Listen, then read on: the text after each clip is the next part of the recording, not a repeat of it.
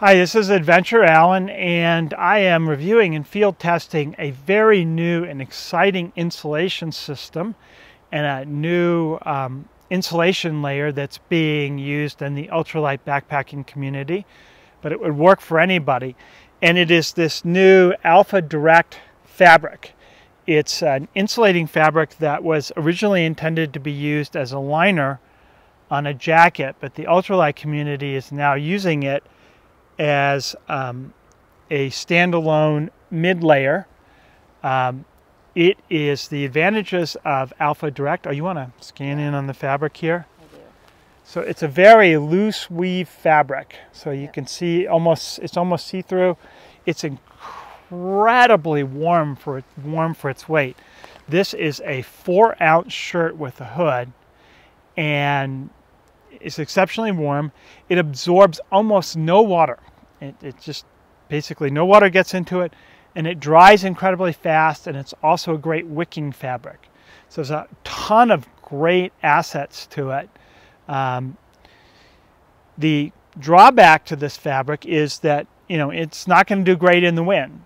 Um, so the second part of this system is that I have this Patagonia Houdini air jacket. So if it gets windy and I need to make it a lot warmer, I take this three ounce Patagonia Houdini air jacket and layer it over this thing. I'm not going to zip it up all the way. Um, and again, you want the Houdini air, the more breathable fabric, and you have an incredibly warm, fairly wind resistant, non clammy fabric. A perfect active layer.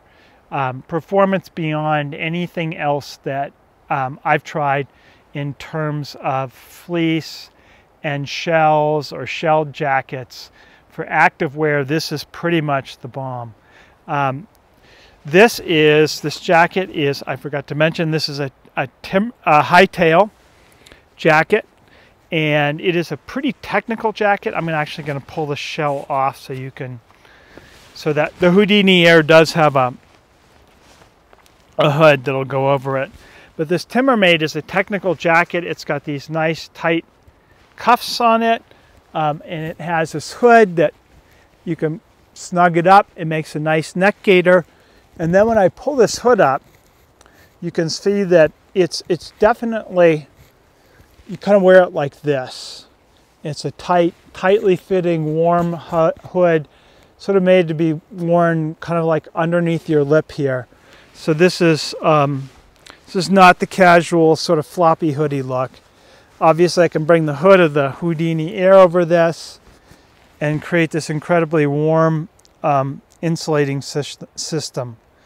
Uh, it's really an incredible way to stay warm. Anyway, I'm gonna undork out here a little bit, put this back down. Anyway, in summary, this um, Hightail Alpha Direct jacket is really a great way to go. I think it's the um, mid layer and shell system that I'm going to use going forward. Um, the other thing I forgot to add is if it gets really cold or really wet, um, I can layer a light rain jacket over this um, and get both higher wind resistance and obviously rain resistance. Anyway, again, this is the um, Hightail Alpha Direct hoodie um, a fabulous mid layer, and then I'm wearing the Patagonia Houdini Air shell over it. Um, and the other great thing about this is if you ever need to dump heat, it's super easy. You just do this. This is nice and breathable and airy, and you can dump a ton, ton of heat, close it back up, and warm up. Anyway, this is Adventure Alan, and I'm pretty much done here. So go ahead and if you like this video, like it on my YouTube channel. Please go ahead and follow the Adventure Alan YouTube channel and click that bell for new notifications. We're always putting out great new content, and that's all I have for now.